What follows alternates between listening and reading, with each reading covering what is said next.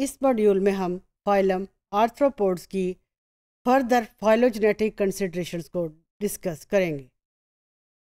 कोई भी फाइलम है, कोई भी एनिमल्स हैं, उनका मुख्तलिफ़ किस्म का फाइलोजेनेटिक रिलेशनशिप बाकी एनिमल्स के साथ या बाकी फाइला के साथ इस्टेब्लिश्ड है। इसको मुख्तलिफ़ जोलॉजिस्ट ने अपने पॉइंट ऑफ़ व्यू के मुताबिक, अपनी रिसर्च के मुताबिक मुख्तलिफ़ तरीके से डिस्कस किया है। एक फंडामेंटल क्वेश्चन जो है, वो आता है रिगार्डिंग आर्थ्रोपोड एवोल्यूशन कि वेदर जो आर्थ्रोपोड्स के मुख्तलिफ़ टेक्सा हैं, ग्रुप्स हैं, जो कि फंडामेंटली डिफरेंट क्या एवोल्यूशनरी स्टेजेस को रिप्रेजेंट करते हैं, इनका आपस में क्या लीनिएज है? मोस्टली जोलॉजिस्ट वो ये बिलीव करते हैं कि जितने भी आजकल लिविंग आर्थ्रोपोड्स हैं, उनके अलावा जो कि एक्सटिंक्ट हो चुके हैं, फॉसिलाइज्ड स्ट्रक्चर में मौजूद हैं, जो लिविंग आर्थ्रोपोड्स हैं, इनको हम थ्री कैटेगरीज में या थ्री सेपरेट फाइला में डिवाइड करते हैं। क्रस्टेशिया कैलिकिरेटा और यूनिरेमिया कैलिकिरेटा कैलिकिरा जिनके अंदर मौजूद है क्रस्टेशियंस प्रॉन्स श्रिम्प्स और यूनिरेमिया वो आर्थ्रोपोड्स जिनके अपेंडेजेस के अंदर सिंगल रेमाय है। अब इसके अंदर एवोल्यूशन की ओरिजिन में दो तरह के नज़रियात हैं। एक है पोलीफाइलेटिक ओरिजिन और दूसरा है इसके अंदर मोनोफाइलेटिक ओरिजिन मोनोफाइलेटिक ओरिजिन का मतलब है कि मुख्तलिफ़ taxa even though they are now diversified they might be having common origin और पोलीफाइलेटिक का मतलब है कि हर एक ग्रुप का अपना अपना ओरिजिन है. अब इनके ऊपर आर्थ्रोपोड्स की थेरी के, इसके ऊपर जो टेक्सोनमिस्ट हैं they normally employ the theory of polyphyletic origin यानी ये मुख्तलिफ़ ग्रुप्स या तीन ग्रुप जिनकी हमने बात की, ये एक्सीलेंट एग्ज़ाम्पल हैं कन्वर्जेंट एवोल्यूशन की। And they are similar arthropods features in all three के। इन तीनों के अंदर मुख्तलिफ़ किस्म के फ़ीचर्स जो हैं वो सिमिलर हैं। या एट लीस्ट इन तीनों में से दो के अंदर मुख्तलिफ़ किस्म के फ़ीचर्स सेम हैं। आल्दो, इसके अलावा भी मुख्तलिफ़ जोलॉजिस्ट ने स्टडी किया, उन्होंने अपने नज़रियात पेश किए और उसके एविडेंसेस भी हमारे पास मौजूद हैं कि पोलीफाइलेटिक के अलावा मोनोफाइलेटिक ओरिजिन भी है और ये एविडेंस हमें बताते हैं dual origin of trachea mandibles compound eyes इसके अलावा बहुत सारे जोलॉजिस्ट जो हैं वो कन्वर्जेंस ऑफ़ ऑल आर्थ्रोपोड्स को कहते हैं कि this is unlikely process this is not set to be a process of convergent evolution अब ये जितने भी सब फाइला हैं आर्थ्रोपोड्स के,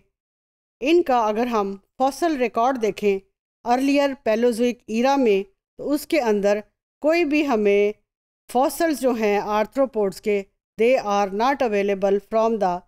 Precambrian times अब फॉसल रिकॉर्ड से हमें लिटल हेल्प मिल जाती है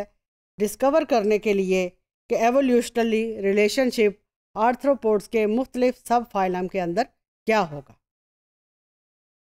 अब जोलॉजिस्ट जो हैं they rely on comparative anatomy comparative embryology molecular studies के ऊपर, ये तीनों के ऊपर स्टडी करके they will try out to find out the relationship between different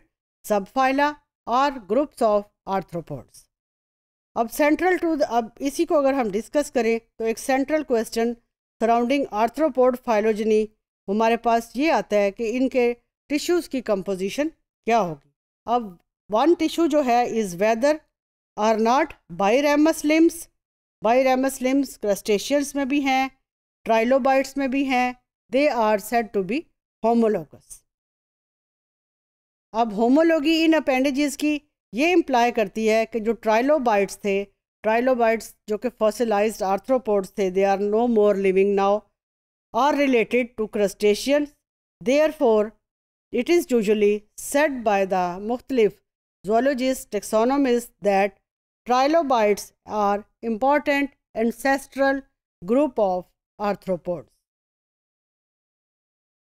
It is also possible to envision crustaceans and possibly arachnids arising from trilobites. कि ये दोनों crustacean arachnids they might have been evolved from the trilobites but envying a similar origin for the myropods and insects वो difficult है इन दो groups को तो हम ट्राइलोबाइट से कह सकते हैं ओरिजिनेट किए होंगे लेकिन जहाँ तक मायरोपोड्स और इंसेक्ट्स का ताल्लुक है उनके लिए ये कहना कि ये ट्राइलोबाइट से ओरिजिनेट किए होंगे एक डिफ़िकल्ट क्वेश्चन एक सेकंड इंपॉर्टेंट इशू ये भी है कि मैंडेबल्स जो कि जिनको हमने यूनी रेमस कहा, जिनके अंदर सिर्फ़ एक ही रेमस होगा मोस्टली क्रस्टेशियंस के में मौजूद है ये they are usually homologous superficially जो मैंडेबल्स हैं, इन ग्रुप्स के structurally they are similar as well as they are also having similar function to employ अब इसमें मुख्तलिफ़ ग्रुप्स के अंदर मसल्स की अरेंजमेंट मेथड ऑफ़ आर्टिकुलेशन वो मुख्तलिफ़ ग्रुप्स के अंदर मुख्तलिफ़ है। तो इसके अंदर मैनी जोलॉजिस्ट तो दे हैव द डाउट कि whether these appendages are homologous or not फिर आर्थ्रोपोड्स की फाइलोजनी की डिस्कशन जो है दैट इज़ कंटिन्यूड एंड मुख्तलिफ़ scientist are working on it in different periods तो इसको हम कह सकते हैं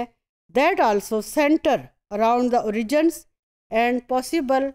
homologies of arthropods compounds, eyes tracheal systems and Malpighian tubules. अब क्वेश्चन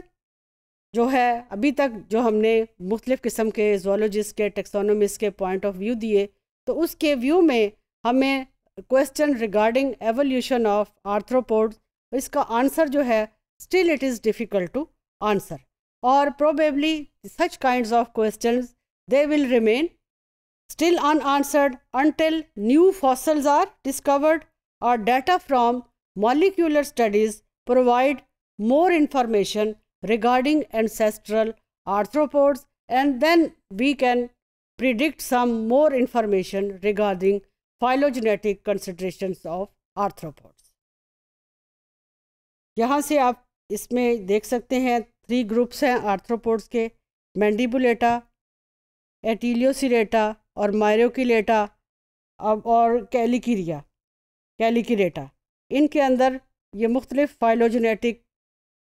ट्री से इसका रिलेशनशिप जो है, मुख्तलिफ़ फर्दर क्लासेस का आपस में शो किया हुआ है और हेक्सापोडा क्रस्टेशिया मायरोपोडा इन तीनों को एक सेपरेट कैटेगरी में प्लेस किया गया है। इनके अंदर ये वॉकिंग लेग्स मौजूद हैं मैंडेबल है मैगजिला है एंटीना है। लेकिन फर्दर इनको सारी आर्थ्रोपोड्स की क्लासेस को एक दूसरे के साथ रिलेट करना that is still a question not answered further research and studies are going on and hopefully scientist they may reach some conclusion but as it is a very large and diversified group of in animals so this may take